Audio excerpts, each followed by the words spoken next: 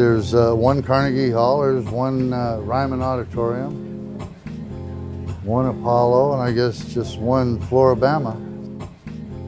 We said it was a club that washed in from the sea. It was made of cardboard boxes and canvas. It was pretty amazing. We're standing in this place that would be the most, you would think, would be the most unli unlikely place in the entire world for famous Grammy Award winning songwriters to be sitting on stage. And you can look around like, you know, and watch the people, and people go, he wrote that? Turn my mind up on a jagged sky, I just dropped in to see what condition my condition was. A lot of the songwriters and uh, our people, they're not household names, but their songs are.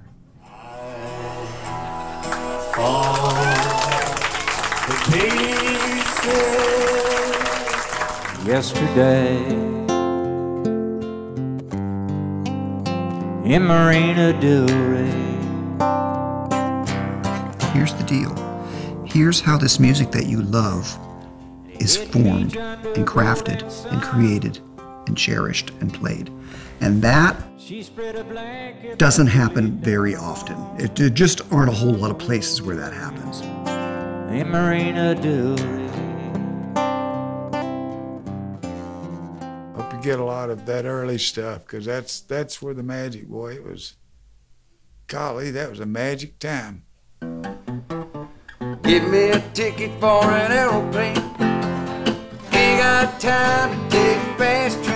The dressing room was a liquor room. I don't know if you remember everybody going to the liquor room and songwriters sleeping across the street and 20 songwriters in there passing a guitar around and you talk about magic. Man, there was some magic in that room. I don't know if there's any place in the world where this many songwriters gather at the same time for no other reason but to gather at the same time me no more. Listen, mister, can't you see I got to get back to my baby once more? And I wait. Every player like to, you know, hit the pot of gold at the end of the rainbow. But I've never met a really great player or writer that that was a prime motivating factor. A songwriter really, truly, in the long run, only cares if he's writing something from the heart somebody else appreciates it. It doesn't always matter if it makes any money. It's nice, but it's not imperative.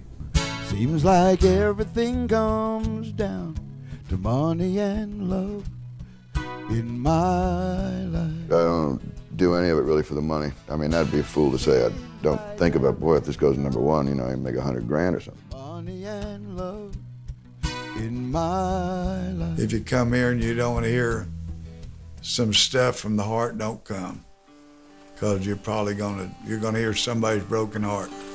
No more chasing rainbows.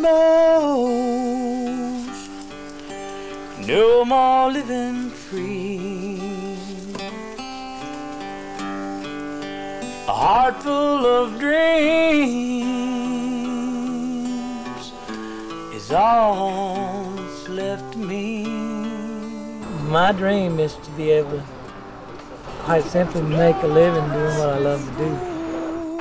I've often told people that, you know, I haven't made a whole lot of money writing songs, but then I was writing songs when I wasn't making a whole lot of money. So, you know, that's that's pretty much the the deal. There'll be no more chasing rainbows. There's millions of players, wonderful players and writers out there that ain't gonna make it. But what is making it? Your love's not what I need. You know, people come up to you and say, Man, you don't know what that song's meant to me. That part of it makes you proud of what you do. That's why I do it. It's, it's like a calling. No more chasing I look back on the wonderful humans that I've met and the and the wonderful level of talent that I've been blessed to be a part of and to write with some of these wonderful people. My life couldn't have been any better, Lynn. Couldn't have been any better.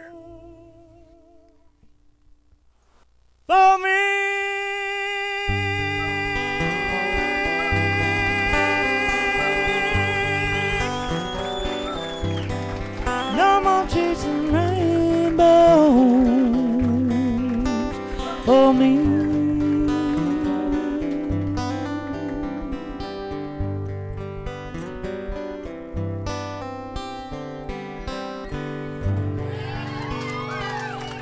Thank y'all.